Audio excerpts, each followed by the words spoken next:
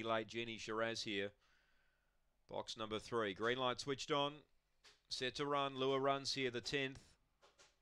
They're ready.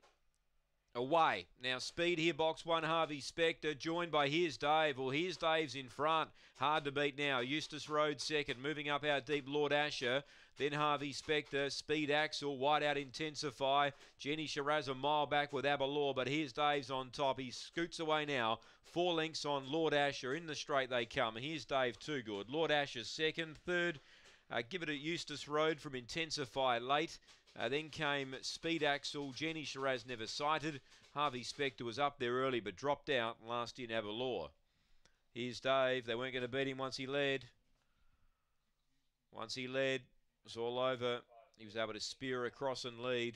He's pretty strong, here's Dave. And once he was out in front, they weren't going to beat him. So five, seven, six are in the frame. Eight runs fourth intensify. Five, seven, six, and eight are in the frame. Five, seven, six, eight. Five and a quarter by three quarters. Five and a quarter by three quarters. Twenty-two eighty. The